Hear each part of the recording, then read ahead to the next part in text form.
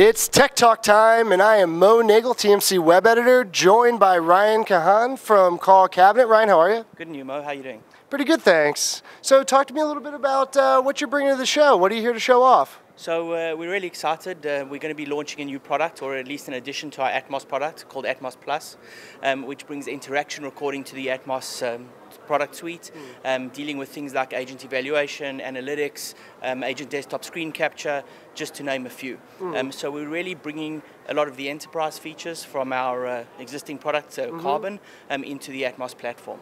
So if you could clarify, Carbon was on-prem, correct? Correct. Carbon's on-prem. Atmos is our true cloud-based offering. Awesome. And so far, what has the response been like to the release?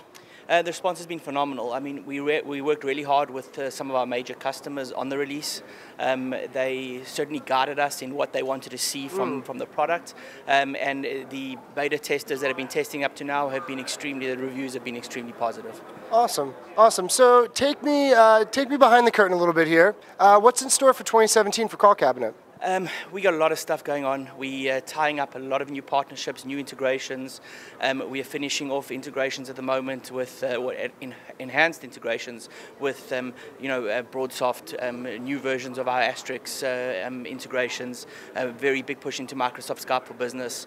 Um, our desktop Microsoft uh, Skype for Business application is doing phenomenally well, and uh, we are also going to be moving a, quite a bit into speech analytics and some of the more advanced. Uh, you know, product features that our customers are looking for. So talk to me a little bit about compliance, because from what I understand, compliance has really been a key driver for you. Absolutely. Um, you know, the majority of our customers with Atmos are in the ITSP and telco space. Um, the reason they look to us is to help them with number one, the long-term storage mm. of calls, and number two, the compliance issues that they may, you know, that they that they have around the calls.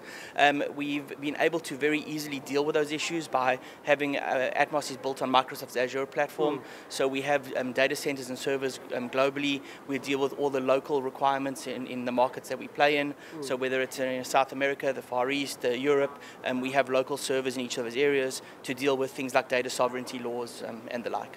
Awesome, which is very important. So let me ask you one more question to close here.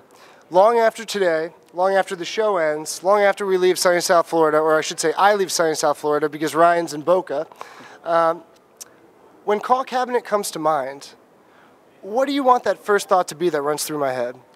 Really the experts in cloud-based call recording and compliance recording. That's what we specialize in, that's what we do, and we like to think we're pretty good at it. Awesome. Thanks for your time. Appreciate a few minutes.